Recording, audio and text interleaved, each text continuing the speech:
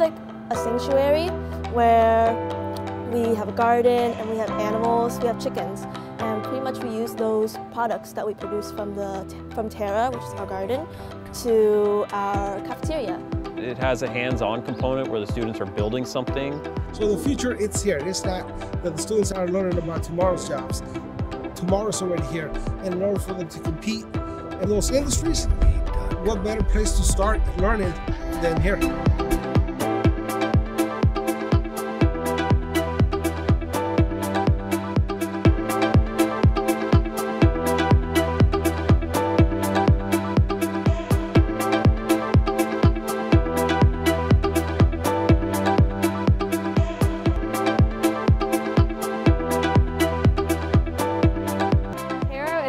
Garden that's student-led and student-based. We have teachers, but the teachers are just like the watchers while the students actually get hands-on activities.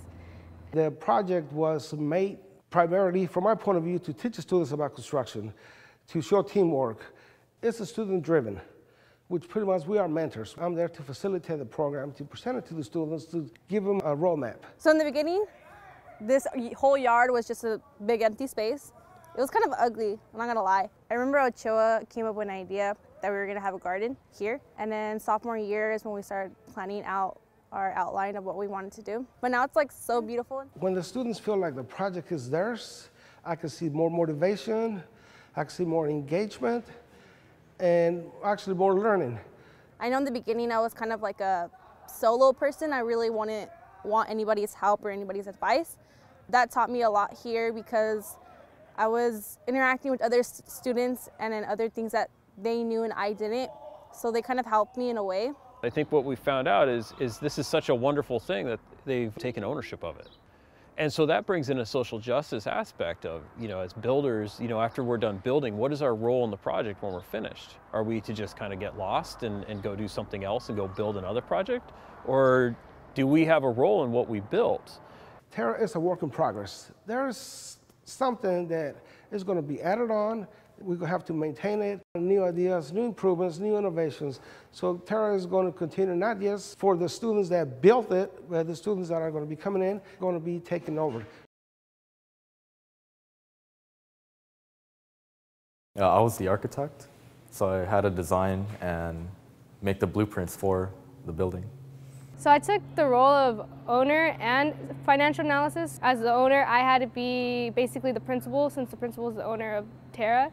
And then for financial analysis, I basically did a spreadsheet, but the spreadsheet basically was color-coded for people that were more visual learners. And the spreadsheet basically had a pie chart too to also show what materials we spent more on and what we spent less on and the kind of materials we used and where we got it from. For me, being a green energy specialist, I did the calculations for all the energy produced from the showcase room inside Terra. As a sophomore, it's the time where I think about my um, you know, career, my future, and what school I want to go to. And um, Terra kind of opened my eyes to see that I really enjoy the engineering side of it. So my involvement in this project helped me establish what I wanted to be after high school and I wanted to go to Stanford and hopefully major in architecture. I mean, now that I graduated high school, I never thought that I was gonna come back, but I actually like seeing this. And then I even tell my parents, like, watch when I have kids, I'm gonna pass by and I'm gonna tell them that I built that, because I actually did. So it's actually a really good experience. And then now that I'm coming back and helping out even more, makes me a huge part of this project. And then I can't just say like, oh, I just did the steps or oh, I just did the cages. No, I did the whole thing and I was actually part of the whole experience from the beginning to the end. Working in Terra has been like kind of like a life-changing experience for me. Since Terra is on our campus, we could walk there and see, you know, the changes and how people benefit in our community.